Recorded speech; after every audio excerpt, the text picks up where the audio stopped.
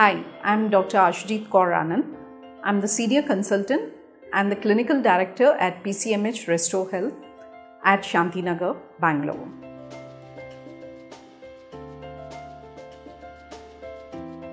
It's a very important question because now we are seeing more and more people living longer because of the medications, the newer medications which are available, good treatment available, and care.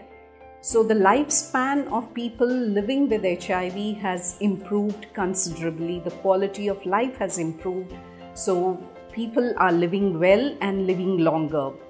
And it is important for everyone to complete their family by having a child, which is a natural. Every woman needs to complete her womanhood womanhood by having a child. And yes, it is possible to have a child who is HIV negative even when both the parents are HIV positive.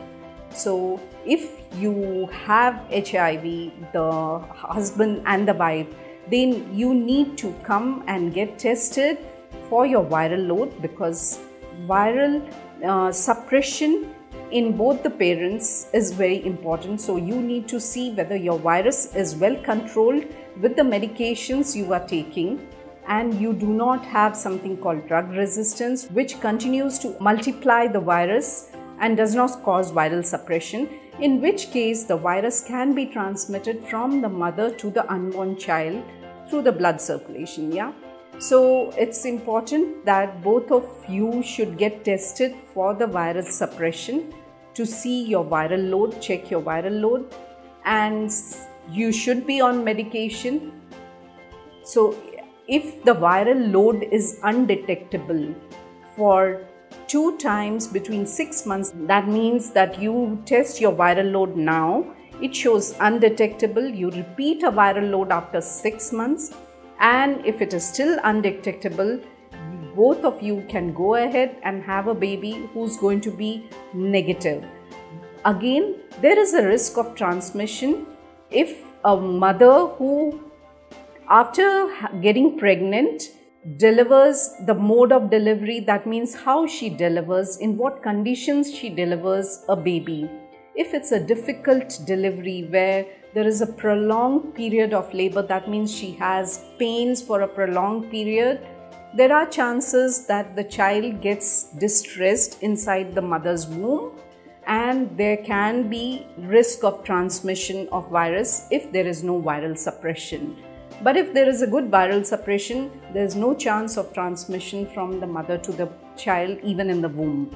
Then there is a risk of transmission after delivery when the mother feeds the baby. Again, here the virus gets transmitted through the mother's milk to the baby if the mother is not on medication and if she does not have a viral suppression, there is about 10% chance of passing on the virus to the baby, which means out of 100 children, there are uh, 10 children who are breastfed, there are chances of getting HIV if the mother is not on the medication. So it is important for the mother and the father to be on medication before the mother becomes pregnant and thereafter after her pregnancy the medications to continue to continue with the viral suppression till delivery and even after that for breastfeeding the baby. In this way, if the medication is well tolerated and the person has viral suppression, the baby can, is going to be negative.